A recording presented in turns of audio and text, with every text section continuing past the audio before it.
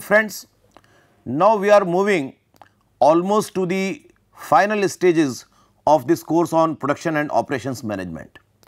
And we have discussed uh, different issues uh, in detail with respect to forecasting, inventory, material planning, facility layouts, uh, project management, uh, quality management, uh, some of the important areas we covered. Now, we will use this remaining time for discussing some of the latest trends or some of the burning issues in the field of operations management. And uh, one such topic which we are going to discuss in today's session is related to just in time and lean operations. When we were discussing the inventory management, we had uh, a small introduction of uh, JIT which is uh, normally understood as a system of inventory management uh, where we are providing products just in time. Whenever need is there immediately we are procuring the products and we are not keeping any inventory. Normally this kind of myth is there with respect to JIT, but it is not so. We do keep inventory in JIT, but we keep a very minimal level of inventory. The second topic which we are going to cover in this session is about the lean operations. Lean operations are very important because of improved competitiveness you want to increase competitiveness and that is only possible when you are lean, lean means when you are able to avoid, when you are able to eliminate wastage in your systems. So, these two things are very important and the future direction of operations management uh, that uh, how to have a JIT enabled system and how to have uh, lean concepts uh, in your operation system. So, we are going to discuss these two topics in this particular session. Now, when we are talking of a lean system, so it is a flexible system that uses the minimal resources and produces high quality goods or services. So, one very important thing is that nowadays we want uh, more and more variety, we are going into the customization direction and to provide more and more variety to fulfill the requirements of the customers uh, uniquely, you need to have uh, flexible manufacturing systems, systems which can produce wide variety of products. And for that purpose uh, lean is a very important enabler. When you have lean systems then only you can have flexible manufacturing and when you have flexible manufacturing then only you can produce wide variety. So, it becomes you can say a type of necessity only with lean approach you can provide more varieties to your customers. So, a lean operation is a flexible system of operation that uses considerably lesser amounts of resources like activities, people, inventory, floor space than a traditional system of manufacturing. So, because we are uh, eliminating waste in lean system, so we are able to work uh, with less amount of inventory, we are able to work with less amount of manpower, we are able to work with less amount of floor space. So, you use less resources and when we are using less resources, so we say that we are removing bulkiness of the system. So, by removing bulkiness of the system we are able to follow the idea of lean.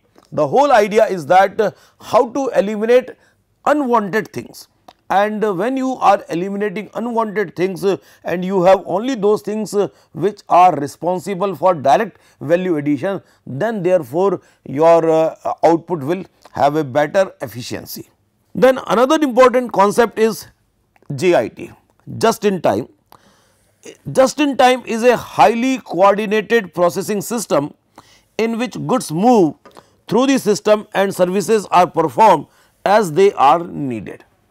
So, it is a system where you have uh, different stages in your processing. These are uh, suppliers, this is stage 1 processing, this is stage 2, this is stage 3 and during these processings you keep some inventory, but you keep this inventory in such a coordinated manner that if this supplier is taking 2 days lead time to supply product. So, only inventory for 2 days is there and you have a regular system of receiving the inventories after 2 days each. Stage 1 is taking 1 day's time for supplying the product. So, here you have inventory of only 1 day. The stage 2 is taking 6 hours in supplying the products to stage 3. So, you have inventory for only 6 hours at stage 3. So, in this coordinated manner so that you understand the capabilities of your previous stage and the previous stage understands the requirement of uh, successive stage. So, having this kind of coordination we are able to develop a, a smooth flow of material so that uh, nowhere in your entire system inventories are unnecessarily piled up. So, this type of system is uh, JIT and elimination of waste is lean manufacturing. Now, the concept of lean manufacturing where we are talking of uh, elimination of waste is actually a contribution of Toyota car company. The Toyota approach or the Toyota production system is basically responsible for development of this idea of uh, lean manufacturing. We have a full NPTEL course on Toyota production system where we have discussed in detail that how this philosophy is implemented and what are the various tenets of the Toyota production system. Here in this particular session, we are going to discuss the gist of the Toyota production system that what are the important terminologies, what are the basic idea, basic philosophy about the Toyota production system. So, one important point which is to be known and that is a Japanese word that is muda. So, muda that means waste and inefficiency. So, it says that we need to eliminate muda, we need to eliminate waste and therefore, our inefficiencies will go down and efficiencies will increase. So, this is the most important driving philosophy of this concept of uh, lean manufacturing. Waste and inefficiencies can be minimized by using the following practices. And what are these? One is pull system. Pull system is replacing material or parts based on demand produce only what is needed. This is also the JIT that you are producing only what is required by your next stage. You are not keeping the stock available. So, in the previous diagram if you see that all these stages like stage 1 is directly supplying to stage 2. So, no stock is maintained at this level, no stock is maintained at this level, no stock is maintained at this level. Whatever we are producing, we are supplying it as per the requirement of our next stage that and whatever is the demanded at the next stage. And the same concept is actually implemented by the name of Kanban in Japanese organizations. Kanban is uh, the meaning of uh, visual signals that uh, we give signals yes now I require the product. So, just by seeing the signal the previous stage will start producing and start supplying.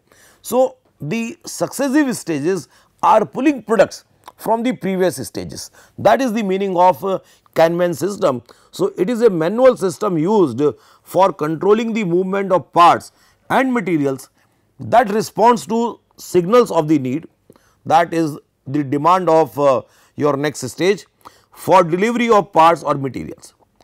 This applies both to delivery to the factory and delivery to each workstation. So, this Kanban is applicable within an organization and it can be applicable to entire supply chain also. That from one organization to another organization, if we need to supply products, we can follow the system of Kanban that when my customer is requiring the product, when a signal comes from the supplier uh, from the customer, then only I am going to supply. And the same thing is possible within an organization where various work centers are arranged. In one of the uh, classes of facility layout, we discussed different types of layouts. Now, in that uh, system of layout, uh, we discussed one assembly line. Now, in that assembly line, it is quite possible that once the work at workstation 4 is over, then workstation 4 requires more products to work and then only workstation 3 will supply additional products to workstation 4. So, in this way the Kanban system is a very useful way to control and coordinate the flow of inventory in your organization. So, Kanban system is basically based on this pull philosophy. This is uh, one of the same thing and uh, it is also known as JIT. Then another important term is uh, Heijunka. We discussed in our quality management classes that variations are natural, but later on we realized with the help of concepts like Taguchi qualities function, with the help of uh, Six Sigma that uh, variations are undesirable. These are natural, but these are undesirable. As you move away from your central values, mean values, customer satisfaction also starts decreasing. And Taguchi said, even within your limits of specification, if you are moving away from the mean value, cost of quality starts increasing. So, we should minimize the variation. We should try to produce more products which are on the central line, which are on the mean value of the specification. So, it says that variations in production volume lead to waste. So, minimize the variation. The workload must be leveled, volume and variety must be averaged to achieve a steady flow of work.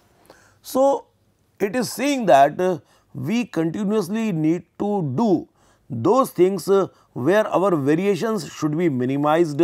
So, like uh, if you remember in our material requirement planning, we discussed two types of production strategies. One was the level strategy and another was the chase strategy.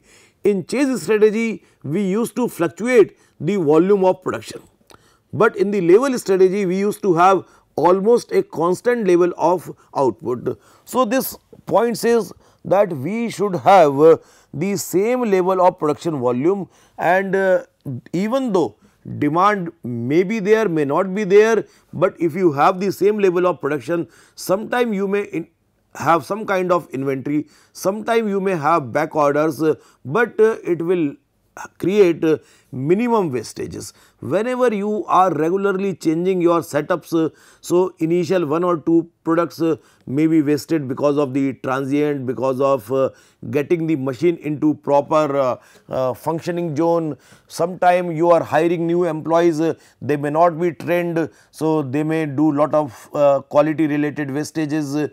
So, if you have the level production system, in that case variations can be minimized and that will lead to better quality and more efficiency in your production system. So, uh, if you visit any Japanese uh, plant, you will find that uh, the production volumes have very minimum variations, while if you go to other parts of the globe and you see their manufacturing setups, so their production volumes have lot of fluctuations. So, if the demand is more they may go for 2 shifts, 3 shifts. If demand is less, they may go for 1 shift and they may fire, they may lay off large number of employees. But uh, in Japanese organizations, you will not find such kind of uh, instances on a regular basis. So, uh, variations in production volume need to be minimized as far as possible. Then Kaizen that is another important term related to Toyota concepts. Kaizen we have already discussed in our quality management classes.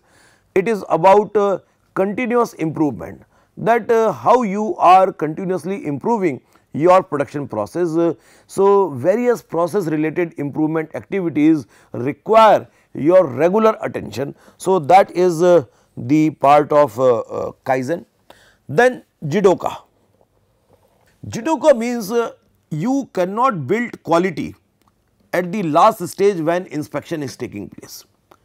So, the final inspector, the final supervisor who is putting that sticker on the product that it has passed the quality control, that person is not responsible for the quality. You have to build quality at the source. Now, what is the source? You have to build quality at the design stage, you have to build quality at the manufacturing stage and you have to build quality in the mindset of the people who are working in the organization. So, quality at the source is very important concept of Toyota philosophy and it says that a machine automatically stops when it detects a bad part. A worker then stops the line also known as automation.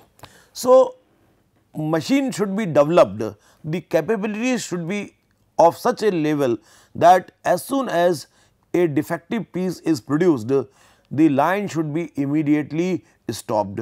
So, that you can see why it has happened so and that level of automation is needed in Toyota systems. And finally, it says that uh, it is team efforts. We need to use small groups of workers for continuous improvement because one person or one leader cannot do the entire improvement activity. So, you need to divide your employees into various groups, various smaller groups so that uh, they can do this kind of improvement activity. So, the team efforts, uh, the involvement of all your employees are very much required in Toyota approach. This we also also discussed under uh, TQM that how TQM is a team approach activity. Same thing is applicable in the lean and JIT operations that uh, lean and JIT operations are only possible with team activities. Now, when we are talking of uh, Toyota approach and particularly we discuss the philosophy that uh, we need to eliminate muda. we need to finish this uh, waste, muda means waste from our manufacturing setup or maybe from our service organizations also. Now, this says 7 types of waste and these are one is waste of overproduction. If you are producing more than the requirement, that is a type of waste that is not adding waste is anything it is anything which is not adding value. So, that is your waste. So, if you are doing overproduction that is a type of waste you are doing in the system. Waiting your parts products are waiting for their turn to be processed further. So, that is also a type of waste that means uh, you have not planned your production planning properly. Transportation. So, unnecessary transportation from one place to another place, uh, too much of material handling that is also a type of waste. It is not going to use therefore, proper layout planning is very much important to minimize the unnecessary transportation of goods inside the plant. Inappropriate processing or you can say over processing Now, many a times if you do not know the customer requirements properly and uh, many a times it happens that uh, we want to build so many features into our products and we do excessive processing of the product. So, that is also a type of waste. Customer does not require those many features, customer does not require that many activities, but you have done extra processing. Many a times in India you must have seen that uh, when we are constructing our houses. So, uh, the uh, lintels which are being prepared. So, in that uh, we do lot of uh, over processing and we do a lot of uh, with the concrete we mix uh, a lot of rods of steels uh, so that we get more safety. But uh, in fact there is a limit to safety you cannot get beyond that, but we unnecessarily uh, mix uh, too much of uh, concrete and rods so that we get extra safety, but it is not so. So, in India particularly we are too much obsessed with extra processing we need to avoid that. Then unnecessary inventory many a time we think of a lot of uh, fluctuations, a lot of uh, uh, variations which are not in our control and to handle those variations uh, we keep uh, inventory. So, uh, we need to see that how much safety stock is actually required otherwise unnecessary keeping of inventory is also a type of waste. So, inventory is not going to help you in any value addition. Then unnecessary and excess motion. When we are uh, producing products, uh, so uh, sometime small minor motions are also very important because these motions consume energy. These motions may result into your extra fatigue and as a result of that uh, these are not adding value rather it may create more inefficiencies. So, see those small minor motions which are waste. And a very good example you can see from the field of the sports. When a player who is playing golf, so even the minute uh, movement of the golf stick uh, can make the difference in the stroke which he is playing. When a swimmer, when a athlete is going to start the run, in that case uh, how he or she is taking off uh, that small motion difference uh, can make the whole result a different story. So, the excess motion or unnecessary motions uh, are to be avoided and I think the sports is the best field to have the examples in this particular category. Then the defects, the defects which you are producing, the poor quality where you are generating scrap, when you are generating the rework uh, and all those things uh, that is also a type of waste and that is very easy to understand I need not uh, explain it much. But I also want to add one more type of waste nowadays and that is the eighth waste in this list and that waste is uh, the waste of uh, human creativity. many a times we are not able to take the advantage of uh, human creativity, the employees working with us. In our previous slide, we discussed that uh, Toyota system or implementation of lean and JIT is a team activity and we need to make smaller teams for continuous improvement. Now, if you do not give enough environment, if you are not creating an ecosystem where individuals can give their best output, how can you take your organization ahead?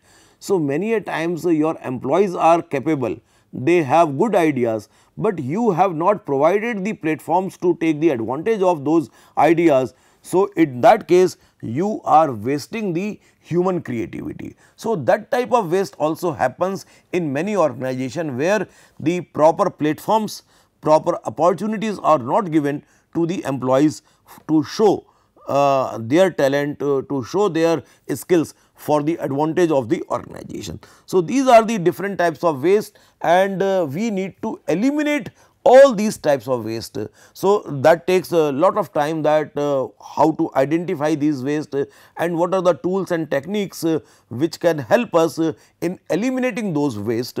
But uh, certainly it is very very important to identify waste and continuously try to eliminate these waste. If you continuously eliminate these waste that is automatically Kaizen that is automatically continuous improvement. So, simply you identify waste and then focus how to eliminate those waste your improvement will take place. Now, this particular diagram gives us a very interesting uh, picture of the lean system that uh, what is the lean all about. So, it is given in the form of uh, 4 important building blocks which are making my lean system. And then you see that uh, what are the ultimate goal of lean system? That is a balanced rapid flow. That is the ultimate objective of uh, lean approach whatever we are discussing so that uh, you can change your products you can change your systems at a faster rate. And for that purpose the supporting goals are eliminate disruptions and make the system flexible. These are the supporting goals one and the second supporting goal is to eliminate the waste. So, these are my supporting goals uh, to achieve the objectives of uh, lean manufacturing. And what are the uh, various building blocks? These are product design, process design, then human related elements, and then manufacturing planning and control. Now, you see that uh, all these 4 building blocks are complete subject on their own. Manufacturing planning and control is a complete subject in which uh, level loading, pull systems, visual controls like Kanban, then how to control your WIP, the vendor relationships which are the part of supply chain management, then reduce transportation processing and preventive maintenance and housekeeping. All these things are the important component of your manufacturing planning and control. Out of this some of the things we have already discussed, some of the things are being discussed in uh, supply chain management, some are discussed under uh, some other courses.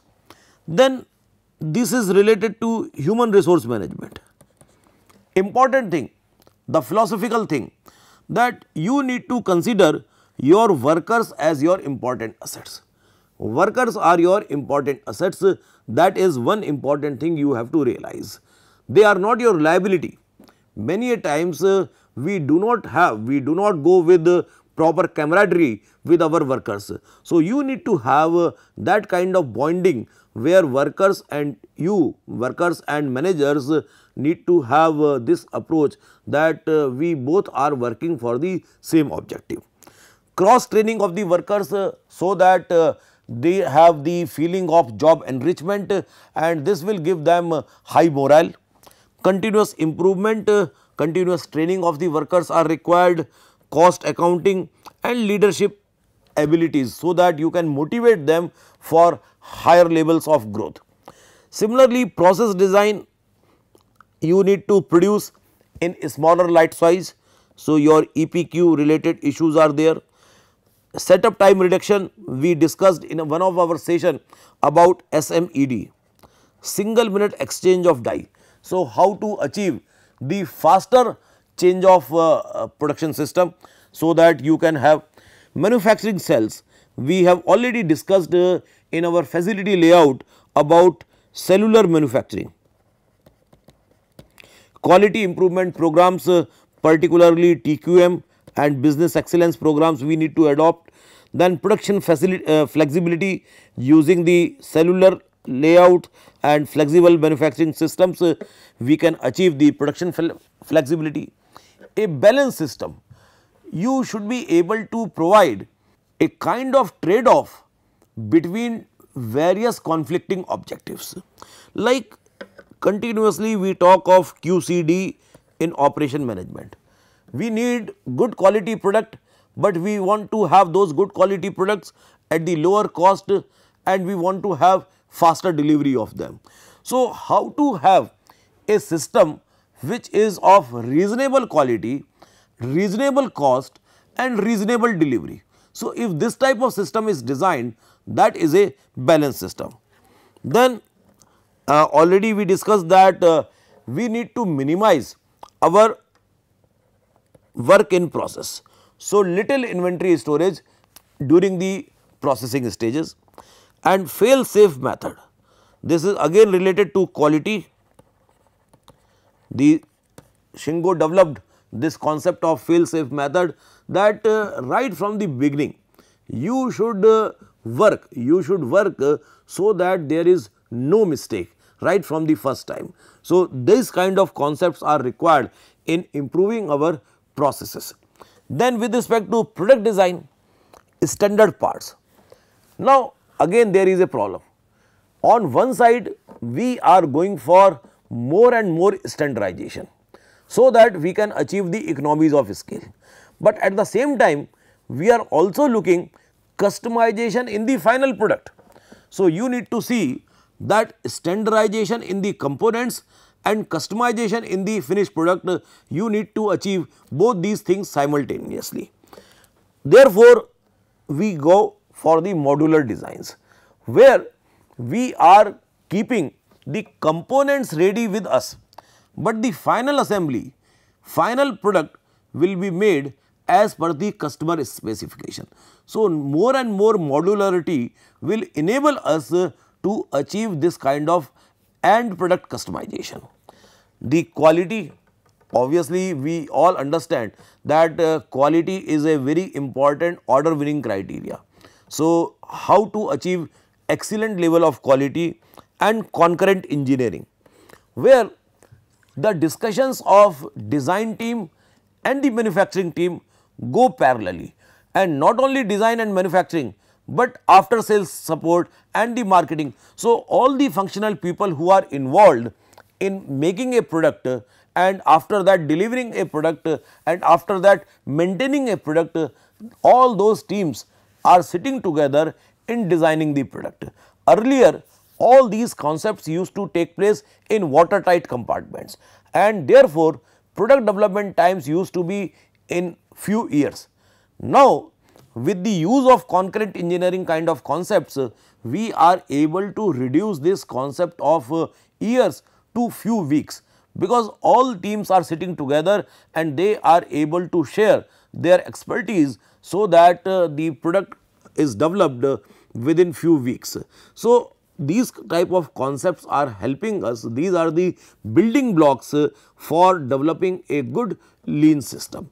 So, with this we understood that what is lean system and how lean system is uh, very important uh, for the modern day operations uh, and particularly we want to have a balanced rapid flow of the production system where we can eliminate the waste and we can have more flexibility, we can eliminate disruptions and therefore, all these different labels product, process, human resource and manufacturing planning and control at all these labels you have to work simultaneously then only you can achieve the objectives of lean system.